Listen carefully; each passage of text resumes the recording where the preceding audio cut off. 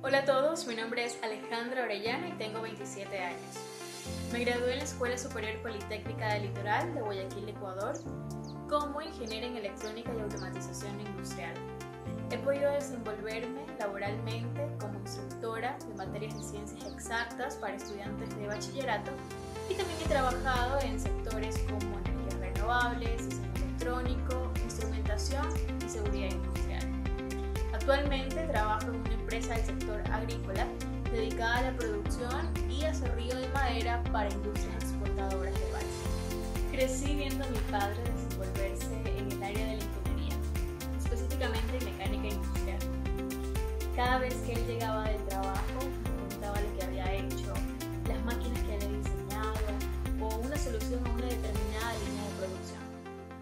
inclusive, cuando había la oportunidad, él nos llevaba a su lugar de trabajo y nos mostraba lo que hacía día a día.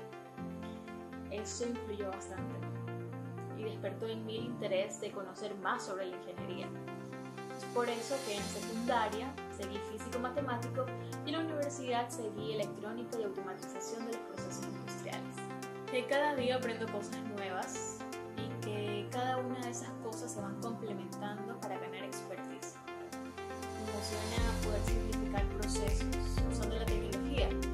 Más aún sabiendo que esas herramientas tecnológicas están al alcance de todos. Vivimos en constante evolución tecnológica y este mundo necesita de más innovaciones y más soluciones a los problemas cotidianos de la vida, indistintamente del campo de acción, sea este medicina, telecomunicaciones, construcción, energía.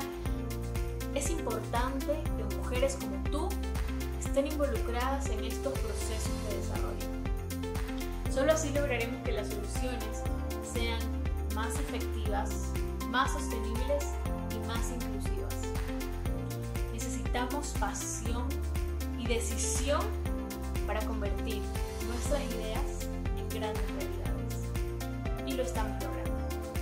Porque necesitamos más mujeres de donde inspirarnos. Porque queremos ver más roles de liderazgo femenino. Queremos continuar desenvolviéndonos en áreas STEM, sabiendo que el trabajo no va a quedar ahí, sino que se van a sumar mujeres más capaces, con nuevas ideas, complementando o mejorando el trabajo que mujeres ya están haciendo día a día. Esto es una cadena de apoyo, en donde cada eslabón es muy importante para el desarrollo y bienestar de nuestra comunidad.